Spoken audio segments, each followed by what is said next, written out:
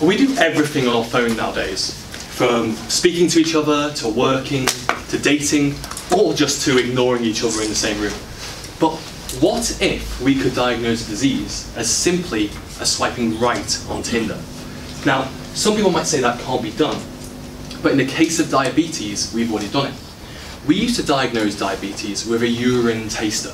Someone who'd come along, they drink your wee, and then depending on how sweet it is, they would decide if you had sugar sickness or diabetes.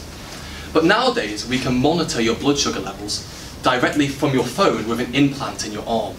But how do we do this for a more complex disease? Something like sepsis.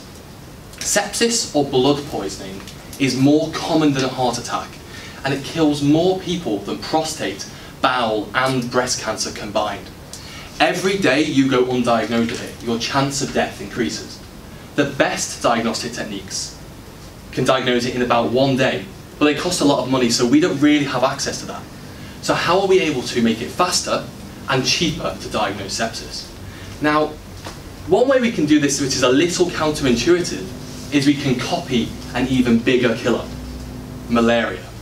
When malaria gets inside your body, it eats your blood, more specifically, your hemoglobin, which we can split into two bits. The heme part being an iron bit that no one likes, and the globin part being the tasty bit the parasite wants. It spits out the iron part into tiny rods inside your blood, which is pretty horrific to be honest.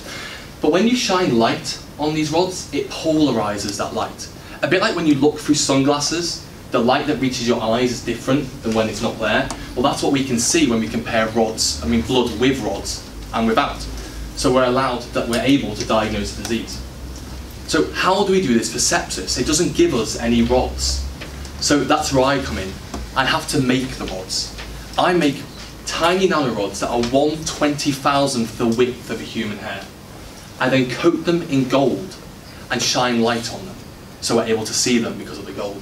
And we put a glue on there which sticks only to sepsis, which means that when light hits our rods and sepsis comes into contact, the light that comes out of it changes and thus we can diagnose the disease. Now, we've already got a handheld device that can diagnose malaria. And what we want to do is to get another handheld device in the GP's office or anywhere so we can diagnose you with sepsis like that and for a fraction of the cost. 171 people will be infected by sepsis in the period I'm giving this talk. 136 people, that's 80% of these, could be saved by faster diagnosis. Thank you.